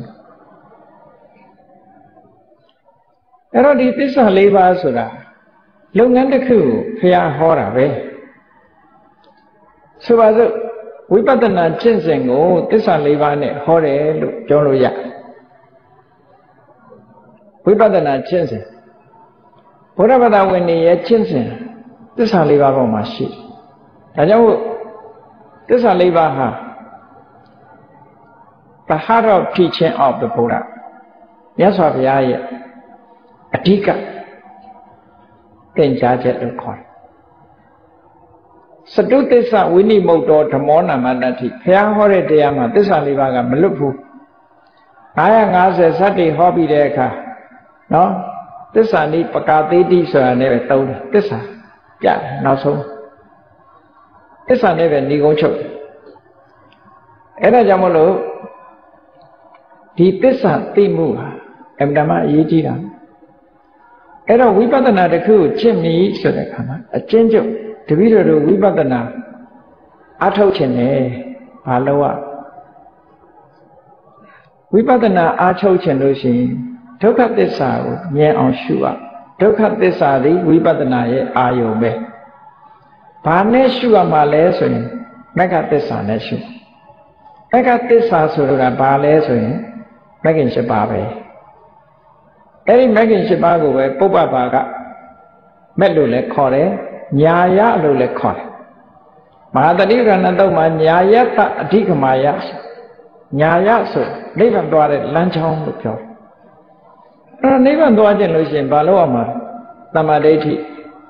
အမှန်မြင်ရမယ်အမှန်မြင်မှုအတွက်တမ္မာသင်္ကပ္ပမှန်မှန်ကန်ကန်တွေးနိုင်ရမှန်ကန်မှုတွေးတော်မှုမှန်ကန်မှုရှိရအဲ့ဒါမဂ္ဂင်၈ပါးတကယ်ကျင့်နေတာကြတော့ဝိပဿနာအကျင့်ကျင့်နေတဲ့အချိန်မှာတကယ်အလုံးလုံးနေတာတော့၅ခုပဲပေါ့သို့တော့အခြေခံအနေနဲ့ပါနေတာမို့၈ခုလို့ပြောတယ် မဂ္ဂင်၈ပါးကိုမြတ်စွာဘုရားကဆက်ဆက်ပြီးတော့ဟောထားတာအလွန်စိတ်ဝင်စားကြကောင်းအမှန်မြင်မှုဆိုတာအမှန်တွေးတောမှုမရှိဘဲနဲ့အမှန်မမြင်ဘူးဒါကြောင့်မို့အမှန်မြင်မှုဟာအဓိကကြလို့တမ္မာဒိဋ္ဌိကိုခေါ်တယ်အဲ့ဒီအမှန်မြင်မှုကိုဘယ်သူကနေပြီးတော့ဒီအခြေခံအကြောင်းခံပေးတယ်လဲဆိုရင်အမှန်တွေးတောမှုကအကြောင်းခံပေးတယ်ဒါကြောင့်မို့တမ္မာဒိဋ္ဌိပြီးတမ္မာသင်္ကပ္ပတဲ့ ဒါဖြင့်တမ္မာဝါစာကိုဘာကြောင့်ဟောတာတော့တမ္မာသင်္ကပ္ပလူတွေဟာစကားပြောလို့ရှိရင်တွေးပြီးမှပြောတာဒါကြောင့်မို့တမ္မာသင်္ကပ္ပပြီးတော့တမ္မာဝါစာအမှန်ပြောဆုံးအမှန်တွေးမှအမှန်ပြောမှာပဲလေအဲ့တော့နောက်တစ်ခါတမ္မာသင်္ကပ္ပတမ္မာကမ္မန္တကြတော့ဘာကြောင့်တမ္မာသင်္ကပ္ပမှာနောက်ထားတာလဲလူတွေကမှန်မှန်ပြောပြီးတဲ့အခါမှာအလုပ်လုပ်ကြတာအလုပ်တစ်ခုလုပ်ပြီဆိုရင်ပြောပြီးလုပ်တယ်ဒါမှမဟုတ်တမ္မာသင်္ကပ္ပမှန်မှန်ကန်ကန် ဒီတမ္မာဝါစာမှန်မှန်ကန်ကန်ပြောပြီးတဲ့အခါမှာတမ္မာကမ္မန္တမှန်ကန်တဲ့အလုပ်ကိုလုပ်တယ်အေးအမှန်ပြောအမှန်လုပ်ရှိတာနဲ့တပြိုင်နက်တမ္မာအာစီဝမှန်ကန်တဲ့အသက်မွေးမှုဆိုတာရှိအဲ့ဒါလို့မှန်မှန်ကန်ကန်အသက်မွေးတဲ့ပုဂ္ဂိုလ်ဟာပြင်းနေလို့မဖြစ်ဘူးကြိုးစားအထောက်မှုလိုအပ်တယ်ဒါကြောင့်မို့သမ္မာဝါယာမကြိုးစားအထောက်ပြီဆိုလို့ရှိရင်အာယုန်နဲ့တတိမပွားဖို့တတိထားဖို့အရေးကြီးတယ်အဲဒါမို့သမ္မာတတိ ပညာဖြစ်ဖို့အတွက်စိတ်တည်ငြိမ်မှုကပိုအရေးကြီးလို့သမ္မာသမာဓိသမ္မာသမာဓိဖြစ်ရင်ဘယ်တော့ပြန်လို့ဆိုသမ္မာဒိဋ္ဌိတတ်နေတာသူကနော်သမ္မာဒိဋ္ဌိပြီးတာနဲ့သမ္မာသမ္မာသမ္မာဒိဋ္ဌိဖြစ်သမ္မာသမာဓိဆိုတာနဲ့သမ္မာဒိဋ္ဌိရောက်သွားတာအဲ့ဒါလို့မက္ခသစ္စာကိုဒီရှစ်ခုနဲ့ဖွဲ့စည်းထားတာအခြေခံဒီရှစ်ခုနဲ့အစင်းမြင်ကြတော့ဘဂုတ်တရာစိတ်မှာရှိတဲ့ မဂ္ဂင်၈ပါးကိုပြောတာဆိုပေမဲ့လို့အခြေခံအားဖြင့်ပြောမယ်လောကီသစ္စာနဲ့ပြောမယ်ဆိုလို့ရှိရင်ဝိပဿနာကျင့်တဲ့ဝိပဿနာအမြင်ဟာဝိပဿနာဆိုတာဘယ်လိုကိုခေါ်တာလဲဆိုတမ္မာဒိဋ္ဌိဥဆောင်တဲ့ဒီတရားတွေကိုပဲခေါ်တာအဓိကတော့တမ္မာဒိဋ္ဌိကိုခေါင်းစဉ်တက်လိုက်တာမဟာတတိပဒံတော့ကြတော့တတိကိုခေါင်းစဉ်တက်ပြီးဟောတာပဲဝိပဿနာကြတော့တမ္မာဒိဋ္ဌိကိုခေါင်းစဉ်တက်လိုက်တာပဲသို့တော့ တခုတည်းဖြစ်လားမဖြစ်ဘူးဘာဖြစ်လို့မဖြစ်တာတော့ဆိုတာစဉ်းစားကြည့်လူတယောက်စာအုပ်တော့ဖတ်ချင်တယ်ဆိုလို့ရှိရင်လက်မပါပဲနဲ့စာအုပ်ကိုလက်ကဖွင့်မပေးပဲနဲ့စာလို့ဖတ်လို့ရပါမလားမျက်စိကစာအုပ်မှာမဖွင့်နိုင်တာလက်ကဖွင့်ပြရတာဆိုလိုတာကပူပေါင်းဆောင်ရွက်မဟာတတိပဒံတောက်မှာဆိုကြည့်မြတ်စွာဘုရားကတတိဆိုတာကိုဥတီဟောလိုက်တယ်အဲတချို့ကတတိတစ်ခုတည်းလို့အောင်းမိနေမဟုတ်ဘူး ဘုရားဟောတဲ့အခါကျတော့အာတာပိတမ္ပဇာနောတတိမှာသုံးခုထည့်ထားသိချာနော်အတ္တပိဆိုတာဝိရိယရှိရတမ္ပဇာနာဆိုတာပညာတတိပါဆိုတာတတိဟောပညာရဲ့ဝိရိယရဲ့တတိပညာဆိုတာတမ္မာဒိဋ္ဌိဝိရိယဆိုတာတမ္မာဝါယာမတတိကတမ္မာတတိဟော၃ခုဖော်လိုက်တယ် ကာယေကာယ ानु ပတိဝိဟရတိလို့ဆိုလိုက်ကြတဲ့ကအနုပတိရှုနေတယ်ဆိုတဲ့ကသူကတမာတိမရှိဘဲနဲ့ရလို့ဘယ်ရှုလို့ရမှာတော့ရှုတယ်လို့ဖမှန်ရှုတယ်လို့ဆိုကြတဲ့ကတမသင်္ကပ္ပမပါဘဲနဲ့ဘယ်လိုလုပ်ရှုလို့ရမှာလဲအဲ့တော့တမသင်္ကပ္ပတို့တမသမာဓိတို့ထုတ်ဖို့မပြောပေမဲ့လို့ဒီမဂ္ဂင်၈ပါး၅ပါးကိုပြောနေတာပဲဘယ်နေရာဖြစ်ဖြစ်ဒီ၅ခု လုံနေတာက၅ခုနဲ့လုံနေတာနော်ပီလကအခြေခံအနေနဲ့ထောက်ကူပြုထားတာပီလဆိုတဲ့အခြေခံပေါ်မှာယက်တည်ပြီးတော့အလုတ်လုတ်တာဒီ၅ခုနဲ့လုံတယ်ပေါ့တမ္မာဒိဋ္ဌိရဲ့တမ္မာသင်္ကပ္ပရဲ့တမ္မာဝါယာမရဲ့တမ္မာတတိရဲ့တမ္မာသမာဓိဒါနဲ့လုံတာအဲ့ဒါလို့ဆိုလိုတာနော်အဲ့ဒါလို့ဝိပဿနာကျင့်စဉ်တစ်ခုကိုကျင့်ပြီဆိုရင် မက္ခသစ္စာလို့ဆိုတဲ့ဝိပဿနာကဒုက္ခသစ္စာကိုမြင်အောင်ကြည့်တာဒုက္ခသစ္စာပေါ်မှာရှုတာရှုလိုက်တဲ့အခါကျတော့ယက်လက်ဆိုတာလာတာပဲလေတခုလုံးရင်ယက်လက်ကလာမှာအကျိုးတရားဆိုပေါ်တယ်အဲ့ဒီအကျိုးတရားကဘာတော့ဆိုလို့ရှိရင်သမုဒိယသစ္စာကိုဖယ်ရှားပြီးတော့និရောဓသစ္စာကိုမျက်မှောက်ပြုခြင်းဆိုတာအကျိုးတရားပဲလေ မဂ္ဂသစ္စာနဲ့ဒုက္ခသစ္စာကို ရှုလိုက်လို့ရှိရင်ဒုက္ခအကြောင်းဖြစ်တဲ့တဏှာသမုဒိယကိုဖယ်ရှားပြီးတော့ဒုက္ခនិရောဓဆိုတဲ့နိဗ္ဗာန်ကိုမျက်မှောက်ပြုတာကဲသစ္စာ၄ပါးဟာဝိပဿနာကျင့်စဉ်တစ်ခုလုံးကိုခြုံပြောလိုက်တာပဲလေခြုံပြောလိုက်တာ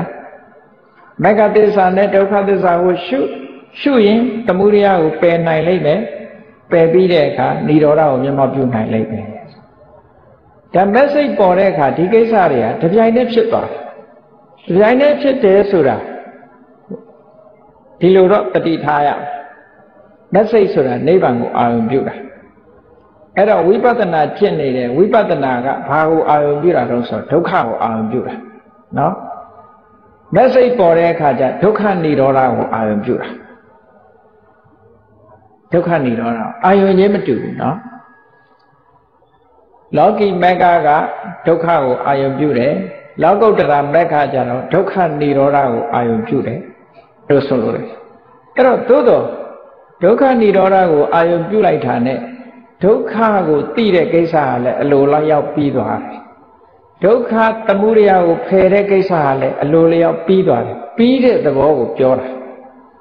နော်ပြီးတဲ့သဘောကိုပြောတာ မဲ့ဟာကိစ္စ၄ပါးတပြိုင်တည်းလုပ်တယ်ဆိုတာပြီးပြီးဆုံးသွားတဲ့သဘောကိုပြောတာနောက်ထပ်လုံးဆရာမရှိအောင်ပြီးပြီးဆုံးသွားတဲ့သဘောကိုပြောတာလုပ်ရမယ့်ကိစ္စတစ်ခုကဆုံးသွားသူ့မှာပဲ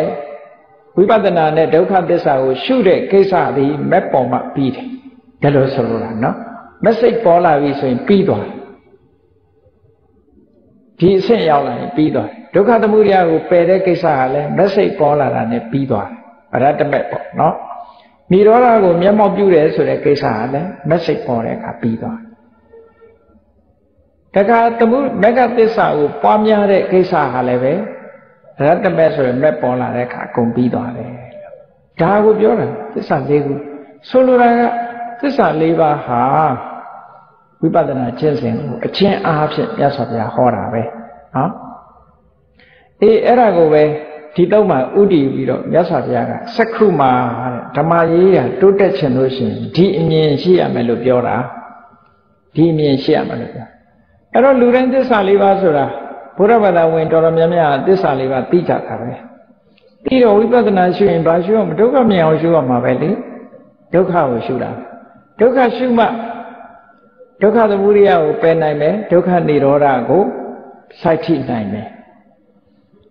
အဲ့တော့ဘာနဲ့ရှုမှတော့လို့ဆိုရင်မဂ္ဂသစ္စာနဲ့ရှုအောင်ဒီလိုဆိုလိုတာပေါ့နော်မဂ္ဂသစ္စာနဲ့ရှုတဲ့ခိုက်မှာဆိုဝိပဿနာဆိုလိုတာကဝိပဿနာဆိုတာလေမဂ္ဂ၈ပါးနဲ့ဖွဲ့စည်းတာပဲပုပ္ပဘာကမက္ခလို့ခေါ်တယ်ဒီမဂ္ဂ၈ပါးနဲ့ဖွဲ့စည်းထားတာပဲအဲ့ဒီမဂ္ဂင်၈ပါးနဲ့ဖွဲ့စည်းလို့အင်အားပြည့်သွားပြီဆိုတဲ့အခါမှာသူ့လုပ်ငန်းဟာအထွတ်ထိပ်ရောက်သွားပြီ တရွေ့ရွေ့နဲ့ချင်းကပ်သွားတာနောက်ဆုံးအဆင့်ရောက်သွားပြီဆိုလို့ရှိရင် message ပေါ်လာတာပဲလေအဲ့ဒီ message ဆိုတာလေဒီရှိခုနဲ့ဖွဲ့စည်းလိုက်တာပဲပေါ့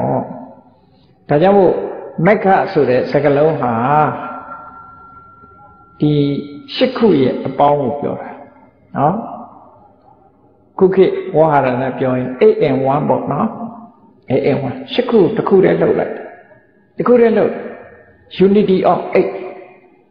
unity of 8 factor ဒီရှစ်ခုရှစ်ခုကတစ်ခုတည်းလို့ဖြစ်သွားပြီဆိုတဲ့အခါမှာအစွမ်းထက်တာစွမ်းအားဟာပြည့်သွားပြည့်သွားရင်တစ်ခုတည်းလို့ဖြစ်တယ်တစ်ခုတည်းလို့ဖြစ်တယ်ဆိုတော့သူ့လို့သူ့လုံးကြဘယ်ရာပဲဖြစ်ဖြစ်စဉ်းစားကြည့်လေကဲမြားပြစ်ထာကိုပဲကြည့်မြားပြစ်ထာကိုကြည့်ဒီမဂ္ဂင်၅မျိုးဟာစူးစမ်းပြီးတော့လုပ်နေတယ်ဆိုတဲ့အဓိပ္ပာယ်ကိုပြောတယ် မြားပြစ်တဲ့လူတယောက်ဟာမြေကြီးပေါ်မှာကြံ့ကြံ့ခံကြရမယ်မြေကြီးပေါ်ဆိုတာသူရက်ဆရာနေရာရှိရမယ်လို့ပြောတာနော်မြားပြစ်လို့ရှိရင်ရက်ဆရာနေရာပေါ်မှာတည်တည်ငြိမ်ငြိမ်ရပ်နိုင်တဲ့နေရာတစ်ခုရှိရလှုပ်နေလို့မရဘူးလေအောက်ကငြိမ်ငြိမ်ရပ်လို့ရတဲ့နေရာရပ်ရမယ်ရပ်ပြီးရင်မလုပ်ရမလဲလို့ဆိုဘယ်နေရာပြစ်ရမလဲလို့သူစဉ်းစားရမယ်ပြစ်ဖို့ကြိုးစားရချိန်သားကြိုက်အောင်ကြိုးစားရမယ် အဲ့ဒီပြစ်မှတ်ကိုတတိရှိနေရမယ်စိတ်ကလေးကိုငြိမ်အောင်ထားရပြီးတဲ့အခါမှာကာခက်ပြစ်မှတ်ကိုထိတယ်ပြစ်လိုက်တာပြစ်မှတ်ကိုထိတယ်ကြည့်ညပြစ်တဲ့လူမှာဘယ်နှခုလိုအပ်သရုံးဆိုတေချာကြည့်မယ်ဆိုလို့ရှိရင်သူယက်တီဖို့နေရာတစ်ခုလိုအပ်တယ်ဟောဘယ်လိုပြည့်ရမယ်ဆိုတာသိဖို့လိုအပ်တယ်ကြိုးစားမှုလိုအပ်တယ် ဒီပြစ်မှတ်ကိုစိတ်နဲ့ပြစ်မှတ်နဲ့တွဲနေဖို့လိုအပ်တယ်စိတ်ငြိမ်ဖို့လိုအပ်တယ်ပြစ်လိုက်ဖို့လိုအပ်တယ်ပေါ့ကြိုးစားအဲ့ဒါကြမှာပြစ်မှတ်ကိုထိမှန်သွားတာအဲ့ဒီသဘောပဲမဂ္ဂင်၈ပါးဆိုမှတမဝါစာတမန်ကမ္မန္တတမအာဇီဝဆိုတာယက်တီဖို့နေရအောင်ပြောတာသီလပေါ်မှာအခြေခံပြီးတော့တည်တည်ငြိမ်ငြိမ်ဖြစ်အောင်ယက်တီသီလမရှိတဲ့ပုဂ္ဂိုလ်တယောက်ဟာစိတ်မငြိမ်ဘူး ဘာလို့စိတ်မငြိမ်ကိုလှုပ်ထားတာကိုသိတယ်သူများတာမသိရှိစိတ်ထဲမှာလာပြီးတော့ဒီအရေးပဲကြီးတွေကလာထိုးတတ်တယ်စိတ်မငြိမ်ဘူးအဲ့ဒါကြောင့်မို့လို့စိတ်ငြိမ်ငြိမ်ယက်တည်ဖို့ရတဲ့တမဝါစာတမန်ကမ္မန္တတမအာစီဝါပေါ်မှာကြံ့ကြံ့ခံယက်တည်ရယက်တည်ပြီးတဲ့အခါဘယ်နေရာပြည့်ရမယ်မြားကိုဘယ်လိုချိန်ရမယ်ဆိုတာတမ္မာသင်္ကပ္ပနော်ကျိုးစားအထောက်မှုကတမ္မာဝါယမ ပြစ်မှတ်ပေါ်မှာစိတ်ကလေးဥတည်ထားတာကတမ္မာတတိစိတ်ကလေးငြိမ်အောင် excitement နေမဖြစ်အောင်ထိန်းထားနိုင်တာကတမ္မာသမာဓိပြစ်လိုက်လို့ဖောက်ထွင်းသွားတာကတမ္မာဒိဋ္ဌိတဲ့အဲ့တခုတည်းမဟုတ်ဘူးလေပေါင်းလောက်တာပဲအဲ့တော့နိဗ္ဗာန်ဆိုတဲ့ဒီပန်းတိုင်ကိုရောက်ဖို့ဆိုတာလေဒီပုံစံနဲ့ပဲသွားတာ မြတ်ပြစ်တယ်လို့ပဲတဘာဝတရားကိုမြင်ဖို့ဆိုတာလေဒီပုံစံနဲ့ပဲသွားဒါကြောင့်မို့မဂ္ဂင်၈ပါးဆိုတာအပူဖွဲ့စည်းထားတာမဟုတ်ဘူးတကယ်လိုအပ်ချက်တွေကိုဖွဲ့စည်းထားမြတ်ပြစ်တဲ့ပုဂ္ဂိုလ်ရဲ့တဏ္ဍာမှာလည်းပဲဒီစင်စင်တူတဲ့ဟာတွေပါနေတယ်ပေါ့မပါလို့ရမရဘူးเนาะအေးအဲ့ဒါလိုပဲသူ့ကြတော့တမ္မာအဆင့်လေးပဲဒီတမ္မာ တမ္မာဝါယမတို့တမ္မာတတိတို့တမ္မာသမာဓိတို့ဒီသမာဓိတို့ဝိရိယတို့တတိတို့သင်္ကပ္ပတို့ဆိုတမ္မာအဆင့်ဒီနိဗ္ဗာန်ကိုရဖို့ရာကြတော့အမတန်မှအဆင့်မြင့်တဲ့အဆင့်ဒီလိုတော့กว่าတာပေါ့အမတန်မှပါဖက်ဖြစ်နေရမယ်ဒါတွေကတတိကလည်းပါဖက်ဖြစ်ရမယ်တမာဓိကလည်းပါဖက်ဖြစ်ရမယ်ဝါယမလည်းပါဖက်ဖြစ်ရမယ်တမသင်္ကပ္ပလည်းပါဖက်တမာဒိဋ္ဌိကလည်းပါဖက်အကောင်းဆုံးဖြစ်နေပြီဖြစ်နေပြီဆိုတဲ့အခါ ပူပေါင်းပြီးတော့အလုံးလုံးလိုက်တဲ့အခါပြစ်မှတ်ထိသွားတယ်ပေါ့နိဗ္ဗာန်ရောက်ထိသွားတယ်လို့ဒီလိုဆိုလို့တာဒါကြောင့်မို့လို့ဓမ္မရေးရဖွံ့ဖြိုးတိုးတက်ခြင်းလို့ရှင်စက္ခုမှာဒီအမြင်မျိုးရှိဖို့လိုအပ်တယ်တဲ့သစ္စာလေးပါအမြင်ဆိုတာဝိပဿနာကျင့်စဉ်ကျင့်ထားရင်ဒီအမြင်လေးခုဟာပြည့်စုံတဲ့အမြင်လေးခုပဲဟောတမာဒိဋ္ဌိနဲ့ပဲမြင်တာပဲမြင်တာသို့တော့တမာဒိဋ္ဌိတစ်ခုတည်းနဲ့မရဘူး တမာသင်္ကပ္ပကတွေးပြရမယ်တမာဝါယာမကြိုးစားရမယ်တမာတတိကစိတ်ငြိမ်အောင်လုပ်ပေးရမယ်တမာသမာဓိကစိတ်တီးနေအောင်လုပ်ပေးရမယ်ဆိုတာတွေကဒီအကူအညီတွေနဲ့လာတာသူကတစ်ခုတည်းမဟုတ်နောက်ဆုံးလောက်သွားတာတော့တမာဒိဋ္ဌိပေါ့ညာဆိုတာအဲ့ဒါကိုပြောတာစက္ခုမှာဓမ္မရေးရကြီးပွားတိုးတက်ဖို့အတွက်အမြင်ရှိတဲ့ဒါဖြင့်ဝိထုရထူးခြားတဲ့ဂျိုးပန်းအထုပ်မှုဆိုတာဘာတော့ဆို ဒီနေရာကြတော့ခုနကတမ္မာဝါယာမရဲ့ကိစ္စဘလောက်အရေးကြီးတယ်ဆိုတာမြတ်စွာဘုရားကိုယ်တိုင်ကမကြိုးစားပဲနဲ့ဘာမှမရဘူးကြိုးစားဆိုတာတွင်တွင်ဟောတာဒါကြောင့်မို့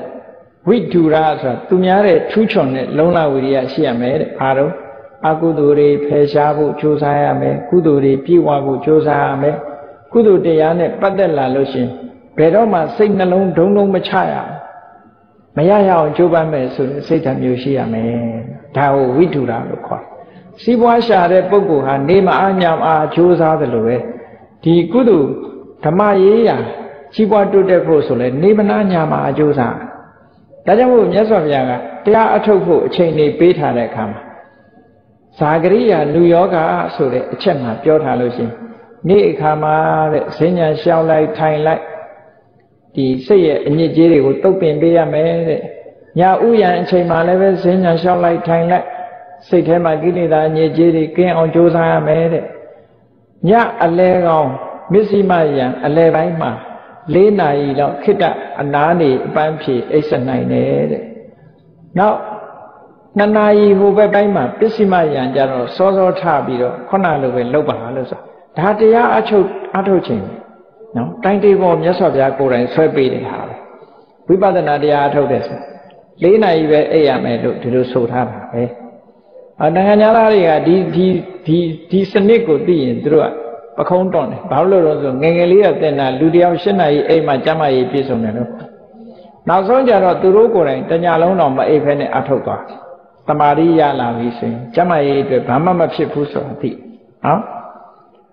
အေး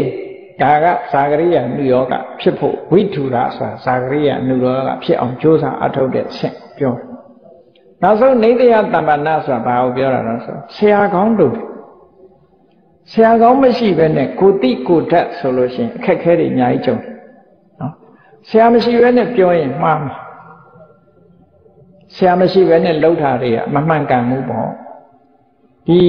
မြတ်စွာဘုရားတရားတော်တွေဆိုအလွန်တိမ်မွေ့ အလုံးတင်မှုတဲ့ပုဂ္ဂိုလ်တွေကသိမတင်တဲ့ပုဂ္ဂိုလ်ကခပ်ပေါ့ပေါ့ပဲစာလေးဖတ်ရုံနဲ့တတ်တယ်လို့တချို့ကထင်တယ်မဟုတ်ဘူးအမတန်မှအတိမ်နဲ့အမတန်မှခွာတယ်ဒါကြောင့်မို့လို့တစ်ခါတလေကျတော့အကြံပေးရတယ်စာသင်ဘူးလားတရားပြနေတဲ့ပုဂ္ဂိုလ်ကြီးတစ်ခါတစ်ခါလာပြီးတော့မေးတော့စာသင်ဘူးလားမသင်ဘူးတဲ့တရားမသင်ဘူးရင်မပြနဲ့တရားကို မတင်ဘူးရင်လည်းတရားမဟောနဲ့မတင်ဘူးရင်လည်းမပြနဲ့ဘာဖြစ်လို့တော့ဆိုလွဲသွားတတ်တယ်လွဲစရာတွေအများကြီးရှိတယ်ဒါအမှန်တမ်းအရေးကြီးတာနော်စာမတင်ဘူးနဲ့စာအုပ်တွေရေးတယ်ဟိုစာအုပ်ကကြည့်ဖတ်ဒီစာအုပ်ကကြည့်ဖတ်ပြီးစာအုပ်တွေရေးတယ်လွဲနိုင်တယ်အများကြီးဒီစာတင်တဲ့ပုံကိုယ်တွေတောင်မှပဲဘာဖြစ်လဲ interpretation problem ဆိုတာဘာသာပြန်အမှားတွေအများကြီးဖြစ်တယ်နော် ဒါကြောင့်မို့လို့စာပေဆိုတာဒီအလေးအနက်ကိုမှမိရအားထားရလေးစားလောက်တဲ့ပညာတတ်တဲ့ပုဂ္ဂိုလ်မျိုးတွေရှိတာကိုသိထားတဲ့အသည့်လေးကိုသိလာပြီးတတ်လာပြီးတော့မလောက်ရဘူးရှိလေရှင်အနုရုဒ္ဓလို့ပုဂ္ဂိုလ်မျိုးပဲစဉ်းစားကြည့်အောင်ရှင်အနုရုဒ္ဓဆိုတာသာသနာပေါင်းဝင်လာတဲ့ပထမဝါတွဲမှာတင်မဲ့တပထချင်းစဉ်ဇန်၄ဆင့်ထိအောင်ပေါက်ပြီးတော့ ဒေဝစကုပင်ញင်ရသွားတာတပထချင်းစဉ်မှာအောင်မြင်တယ်အောင်မြင်ပြီးတော့စัจ java လာတထောင်ကိုသူကကြည့်ကြည့်နေသူကဘယ်လိုတွေးတော့ဆိုအေယန္တာဖြစ်ဖို့လွယ်လေးပဲငါတမာရီစွမ်းအားတွေလောက်ကောင်းတာတတိတွေလည်းကောင်းတယ်ဝီရိယတွေလည်းရှိငါလိုချင်ခဏလေးပဲလို့လှုပ်ကြည့်မရမရမရတဲ့အခါဘယ်လိုတွေးတွေဝင်လာတော့ငါစัจ java လာတထောင်ကိုတထိုင်နဲ့ကြည့်နိုင် နောက်မှလည်းတတိတွေလည်းကောင်းတယ်ဝီရိယတွေလည်းကောင်းတယ်ချိုးပန်းအထုံမှုတွေလည်းမညံ့ဘူးသူများလှုပ်တယ်လို့လှုပ်တာပဲဒါပေမဲ့ဘာဖြစ်လို့ငါတဏ္ဍာမှာကိလေသာအာတဝါတွေကမကုံမဲနဲ့ဖြစ်နေရသလဲသူဒီတွေးဝင်နော်အဲ့ဒီအချက်ကိုသူဟာအခုမြတ်စွာဘုရားကဒီသုတ်တံမှာနေတယတံပန္နာတဲ့အမိကောင်းဆရာလိုအပ်တယ်ဆိုတော့ရှင်အနုရုဒ္ဓဟာ ရှင်သာရိပုတ္တရာစိတ်သွားသွားပြီးတဲ့အခါသူ့အဖြစ်ပြက်ပြောပြတပည့်တော်စัจ java လာတစ်ထောင်ကြည့်နိုင်တယ်တဲ့တတိတွေတမာရီတွေလည်းကောင်းတယ်ကြိုးစားအထောက်မှုတွေရှိတယ်စိတ်လည်းငြိမ်တယ်ဘာဖြစ်လို့များရဟန္တာမဖြစ်နိုင်တယ်လဲလို့ဆိုကြည့်သူမမြင်ဘူးရှင်သာရိပုတ္တရာထောက်ပြတယ်ငါရှင်နဲ့ ငါစัจ java လာတစ်ထောင်ကိုကြည့်နိုင်တယ်လို့ဆိုတာအဲ့ဒါမာနဖြစ်နေတာတဲ့အဲ့ဒီမာနမထားပါနဲ့ဖယ်လိုက်ပါငါမှတတိတွေဝီရိယတွေလည်းကောင်းတယ်ကြိုးစားတယ်တမာရီလည်းကောင်းတယ်လို့ဒီလိုတွေးနေတာဥဒိစ္စဖြစ်နေတာစိတ်လွင့်နေတာအဲ့ဒါလည်းဖယ်လိုက်ပါဘာဖြစ်လို့များရဟန္တာမဖြစ်ပါလိမ့်ကိရိတာအတော်တွေမကုံပါလိမ့်မလဲလို့စိတ်แท้ဖြစ်နေတာကိုကု္ကုစာတဲ့အဲ့ဒါနော် အဘိဓမ္မာထဲမှာပါတဲ့ကုက္ကုဆာကကတကတကုက္ကုဆာကတဆိုတာလွတ်မိတဲ့အမှားအကတဆိုတဲ့မလုံမိတဲ့ကုသိုလ်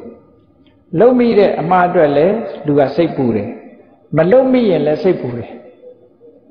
လူစိတ်ခွာလေလုံမိလို့လည်းစိတ်ပူတယ်မလုံမိရင်လည်းစိတ်ပူတယ်ကောင်းတာကြတော့မလုံမိဘူးဆိုစိတ်ပူတယ်လေမကောင်းတာကြတော့လုံမိပြီဆိုစိတ်ပူတယ်အဲ့တော့ မကောင်းတာကြတော့လုံမိလို့စိတ်ပူတယ်ကောင်းတာကြတော့မလုံမိလို့စိတ်ပူတယ်ဒါကိုကိုကုဆသို့တော့ဒီရှင်အနုရုဒ္ဓတုတ်မှာအနုရုဒ္ဓတုတ်တံမှာလာတဲ့ကုကုဆာကလုံရတန်းနဲ့မဖြစ်ရကောင်းလားဆိုစိတ်ပူတာတစ်မျိုးပဲသူကလည်းကုကုဆာလို့ခေါ်တာဒါတတိယကုကုဆာလို့ပြောလို့ရတယ်ဒီကုကုဆာအကြောင်းဘယ်မှာပါတော့ဆိုသုလနေရိတာတို့မဟာနေရိတာတို့ပါဠိမှာပါတယ်ဒီကုကုဆာအထက်ကရာတွေတီကာတွေဖွင့်ခဲ့တယ် နှစ်ခုပဲဖွင့်လို့ရှိသို့တော့လောက်ရတန်းနဲ့မအောင်မြင်ဘူးဆိုလို့ရှိရင်ဒါလည်းကုကုဆာပဲလို့ကကြည့်လေသူဖြစ်နေတာဘာတွေဖြစ်နေမာနဆိုတဲ့အကုသိုလ်ဖြစ်တယ်ဥဒိစ္စဆိုတဲ့အကုသိုလ်ဖြစ်တယ်ကုက္ကုဆဆိုတဲ့အကုသိုလ်ဖြစ်တယ်ဒါတွေမဖယ်ဘဲနဲ့သူဟာယာနာမဖြစ်ဘူးတဲ့ဒါကြောင့်မို့လို့နော်စက္ခုမှာအမြင်လည်းရှိရမယ်ဓမ္မရေးရဖွံ့ဖြိုးတိုးတက်ဖို့သစ္စာလေးပါးကိုမြင်တဲ့အမြင်လည်းရှိရမယ် ဝိထုရကုသိုလ်အကုသိုလ်ကိုဖယ်ရှားအကုသိုလ်ကိုဖယ်ရှားနိုင်တဲ့ကျိုးပန်းအထောက်မှုကုသိုလ်တရားတွေပြည့်ဝအောင်ကြိုးစားအထောက်မှုဆိုတာရှိရမယ်နောက်ဆုံးအခက်ခဲတွေကျုံလာတဲ့အခါကျတော့ဆရာကောင်းတမကောင်းစီမေးပြီးတော့အမှန်လမ်းကြောင်းပေါ်ရောက်အောင်လုပ်နိုင်ဖို့အမိကောင်းလည်းရှိရမယ်လို့ဒီလိုဆိုတာနော်ဒီသုံးမျိုးကိုမြတ်စွာဘုရားကဒီတုတ်တံမှာဟောပြောတာဖြစ်ပါတယ် ဒါကြောင့်မို့ဓမ္မရေးရာဖွံ့ဖြိုးတိုးတက်ဖို့လို့ဆိုလို့ရှိရင်စက္ခုမှာမကန်တဲ့အမြင်ရှိဖို့လိုတယ်ဝိထုရာထူခြားတဲ့လုံလရှိဖို့လိုတယ်နေတယတမ္ပဏလမ်းကြောင်းမှတ်မော်ကိုတင်ပြပေးနိုင်တယ်လမ်းကြောင်းမှတ်မော်တင်ပေးနိုင်တဲ့ဆရာကောင်းတမကောင်းရှိဖို့လိုတယ်လို့ဓမ္မရေးရာဖွံ့ဖြိုးတိုးတက်ခြင်းတဲ့ပုဂ္ဂိုလ်တိုင်းဟာဒီအင်္ဂါရ၃မျိုးဟာအခြေအနေကောင်းတွေအတွက်ဖြစ်ပါတယ်ဒါကြောင့်မို့ ဒီပါပဏိကသုတ်တံအရဘုရားမြတ်မြတ်စွာဘုရားဟောကြားတော်မူခဲ့တဲ့အတိုင်းတရားချက်ခင်သူတော်စင်ပြိဿတ်တို့ဓမ္မရေးရာဖွံ့ဖြိုးတိုးတက်မှုအတွက်စက္ခုမာဆိုတဲ့အမြင်ကောင်းရှိသူဖြစ်ဖို့ဝိဒုရဆိုတဲ့သူများတဲ့ထူးချွန်တဲ့ကျိုးပန်းအထောက်မှုရှိဖို့နေတရားတမ္ပနာဆိုတဲ့အာကိုလောက်တဲ့ဆရာသမားရှိဖို့ဆိုတဲ့ဒီအချက်တွေနဲ့ ပြည့်စုံအောင်ကြိုးစားအထောက်ခြင်းဖြင့်ဓမ္မရေးရာဖွံ့ဖြိုးတိုးတက်နိုင်ကြပါစေကုန်သတည်း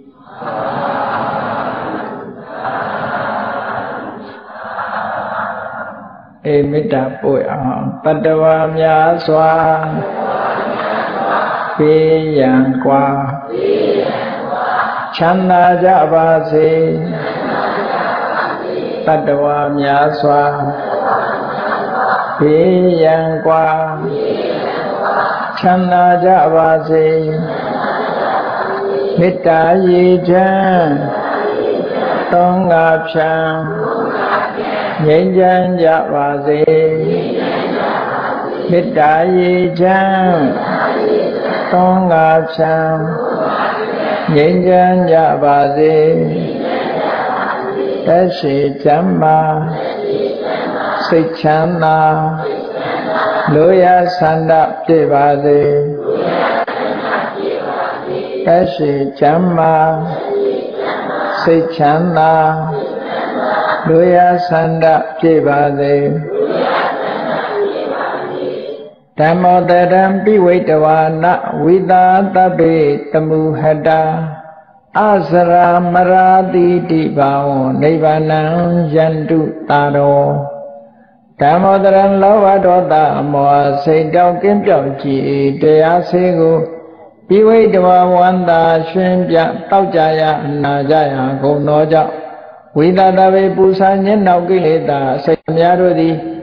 တမုဟတာပိဉ္ကြဘက်တွင် ရေမတင်လည်းကဲ့သို့ကင်းစင်လွင်ပြောက်ပေမရောက်အောင်ပဲဖြောင်းအပ်ကုန်သည်ဟွန်တူစင်စစ်မသွေဖြစ်ကြပါစေကုန်သတည်း အစရမရံအိုခြင်းလဲကွာနာခြင်းလဲကင်းသေးခြင်းလဲရှင်းထသောတိတိဘာဝကိလေသာဟုပုခတိကင်းငြိမ်းရာအစစ်ဖြစ်ပေထသောနိဗ္ဗာန်နိဗ္ဗာန်ဟုခေါ်အညုတော်သို့သာရောတရားချစ်ခင်စိတ်ကောင်းဝိညာသူတော်စင်အများတို့သည်ယန္တုပါရမီအဆင့်ဆင့်မြင့်နေမြင်၍ မလင့်ပုံသေးဆက်ရောက်တော်မူကြပါစေကုန်တည်း